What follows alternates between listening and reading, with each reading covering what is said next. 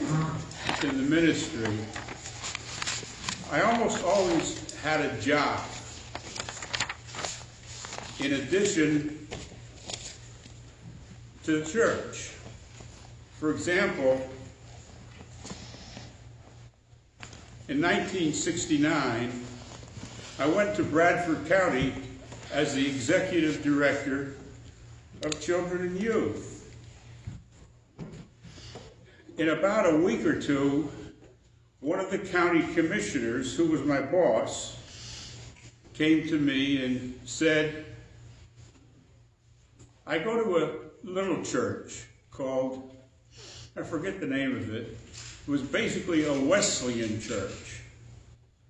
But he said, we have another church in a little town called North Rome, and they need a pastor. And I told them that I would talk to you and see if you would go and preach for them. That became one of the most beautiful time periods in my life. I got the biggest kick out of seeing the empty church five minutes before it was time to start the service. Then all of a sudden, a whole pile of cards would come in. These were the farmers that belonged to that church.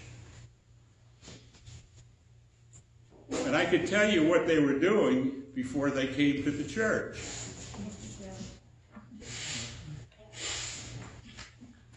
They carried stuff on their shoes. Couldn't get it quite off in time to come to the service. They're beautiful people. Had a gentleman who moved from New Jersey. He was a symphony level violin player and bass guitar player. His wife was an incredible pianist. In that church, we pulled together a couple of cornet players. One gentleman always brought his guitar, and then he had a harmonica attached to it. And he was good. He was really good. We had fun with them. Had a young man and his wife who played trumpets. And so we had a significant combination of people.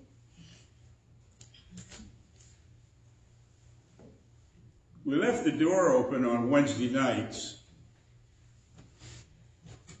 and we had a good time together. But on one Wednesday night, we were having a good time with our band. There were about 12 of us.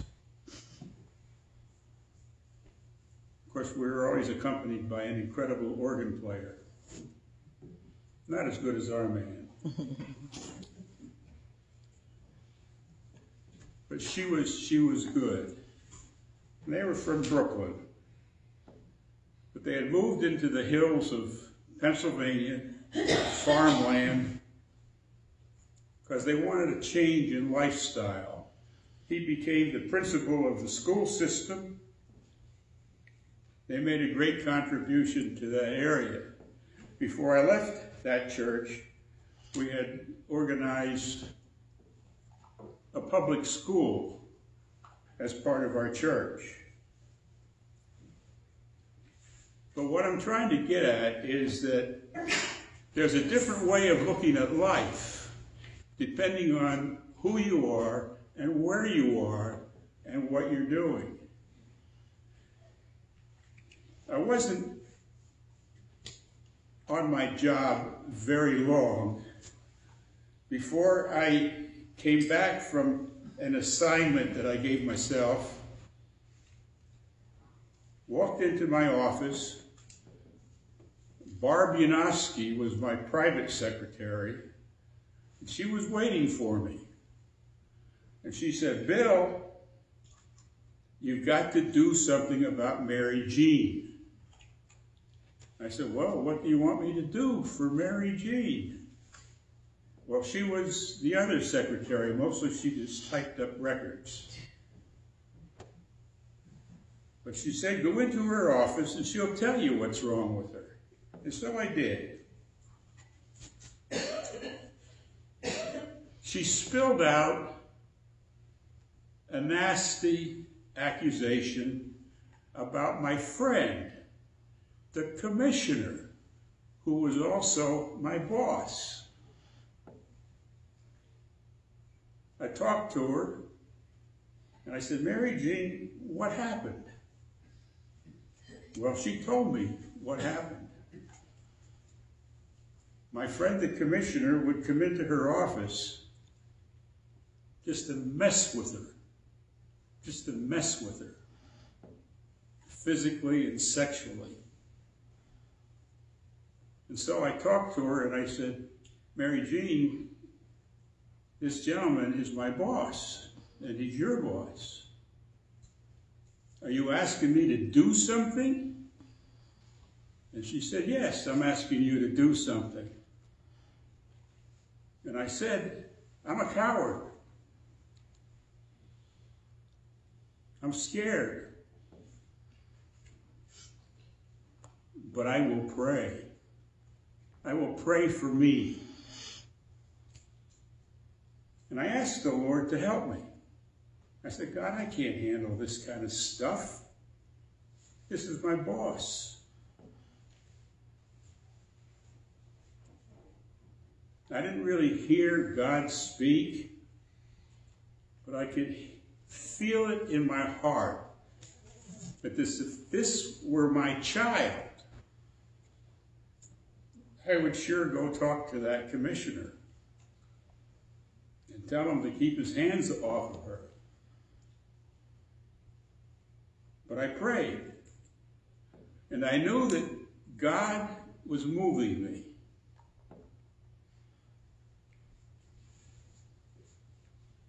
And so a couple nights later, I was working late again.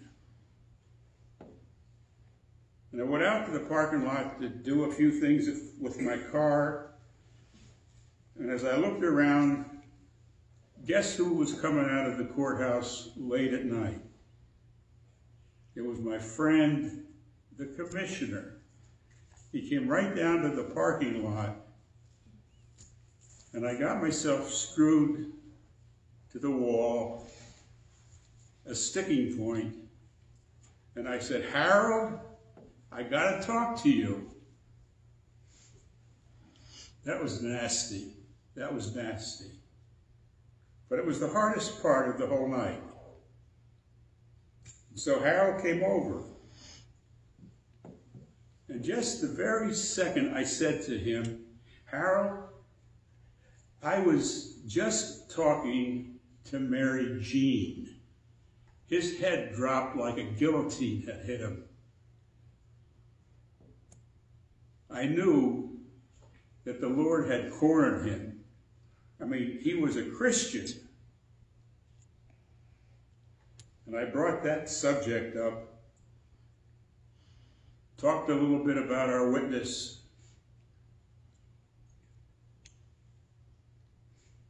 And I implied to him that he should apologize and he should promise, at least me, that he would never do that again.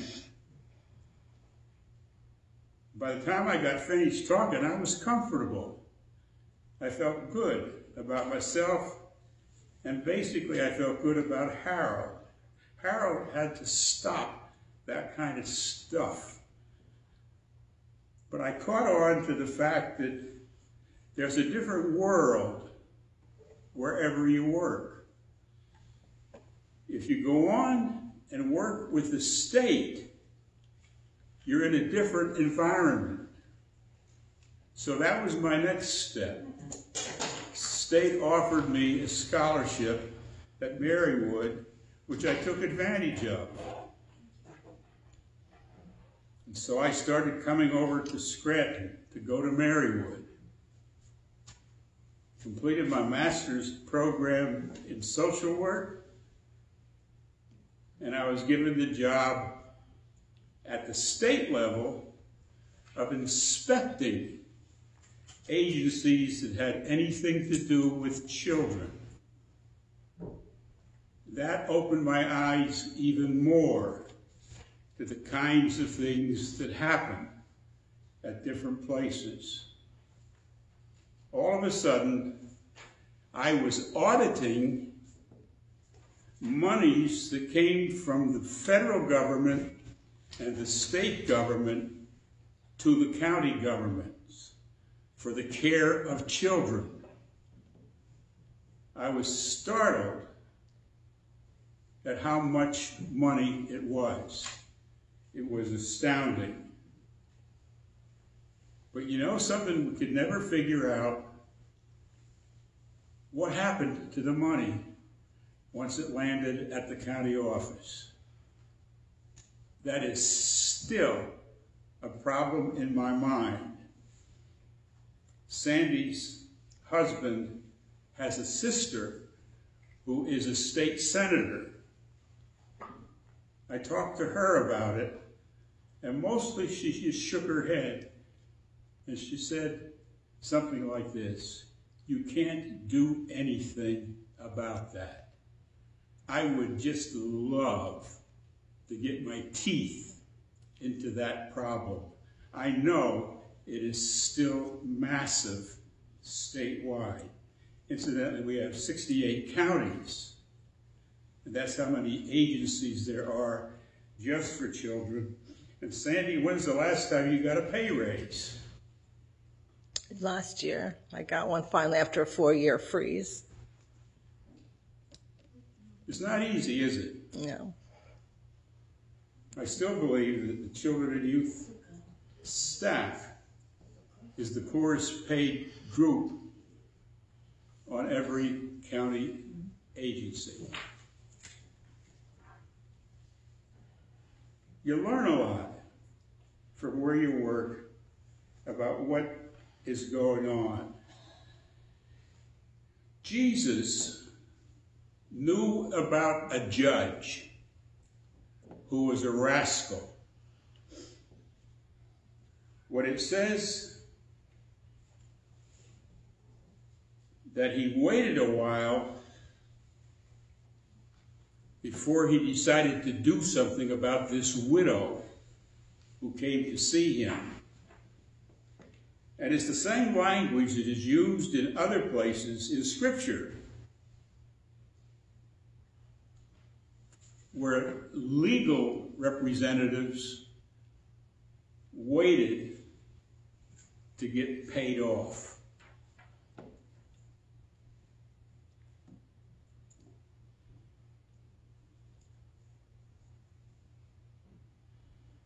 At the state level,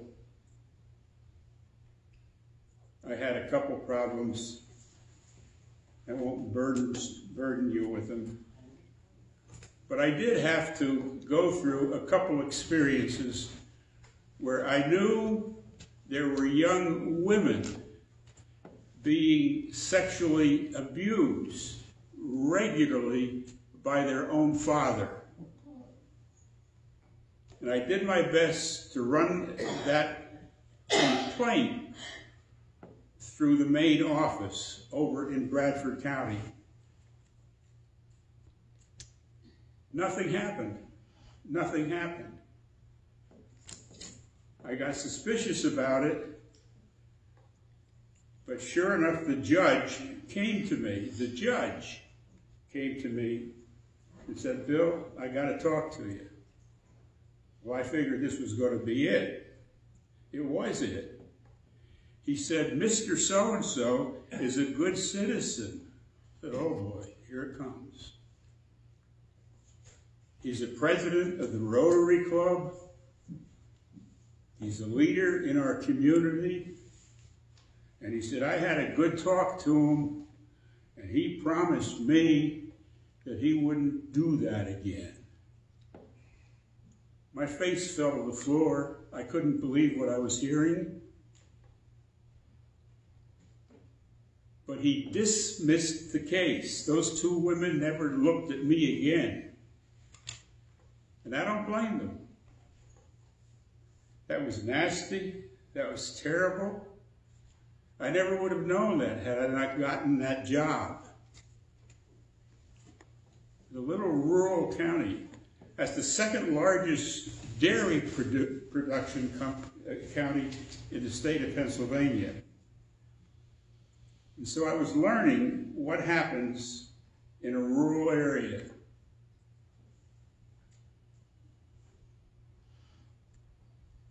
There were a couple more events, not quite as nasty as that.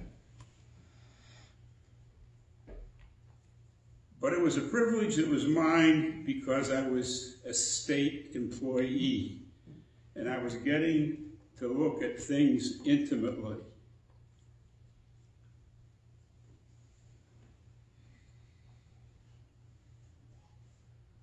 This situation that we're looking at today, Jesus picked up on a judge who had no fear of God and no respect for mankind. And he started this whole thing by saying that men, I'm sure he also meant women, always ought to pray and not lose heart. I believe that he was saying, if you're a man in this world and you see what's going on, you better be praying or you could crash. You could get into terrible trouble. Things just won't work out right for you. That's kind of included in this language that Jesus used. Now, there was a widow in that city, and she came to him saying, Get justice for me from my adversary. We don't know what the adversary was, and we don't know what the justice was that she was looking for. And he would not for a while. That's the same phrase that's used in other sections of Scripture where people were being paid off to speak to Paul, for example, in 1 Thessalonians.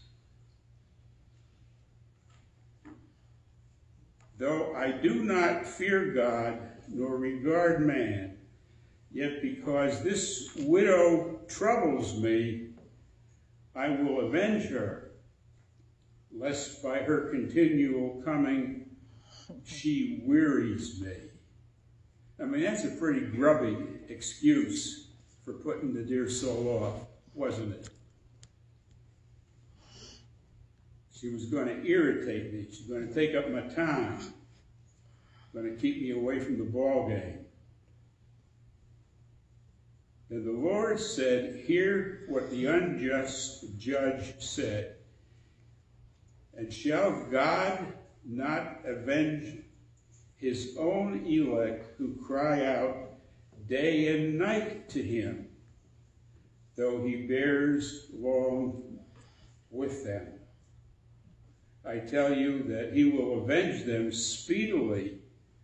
Nevertheless, when the Son of Man comes, will he really find faith on the earth? That's not a real upbeat statement that Jesus makes about how he sees us guys, us men. There are discrepancies all around us. There are problems coming over the news day and night. Are you praying? Are you praying? The way Jesus puts it, men always ought to pray. Because if you don't, you're going to lose heart. You're going to lose your enthusiasm about putting your stamp on the world for Christ. Jesus has this thing down to a fine formula. if you're a man and you're alive and you're alert, you better be praying. As I was reading this over on my own behalf throughout the course of the week, it occurred to me that I don't stop often enough to present problems to the Lord. I say short ones in the morning. Thank you, God, for healing my bad knee, my bad ankles, my bad feet, my bad hip, my bad heart. I mean, it goes on and on. But there are people worldwide who are suffering that I should be praying about. And so should you. We all need to be praying men. Incidentally, I just see that as a reference to humanity. Humanity. Men and women. We all need to pray. Specifically for our church, for our community, for people everywhere that we meet. We need to pray that God will come to the rescue of us all. You know that I'm not going to do political speeches from the pulpit. I know better than that. But do pray to be obedient to what Jesus is saying to all of us right here in chapter 18. Then he spoke a parable to them that men and women always ought to pray. Otherwise, you're going to lose heart. And you need to have your heart functioning properly to interpret your place in this world. Okay? Mm. That's the sermon for today.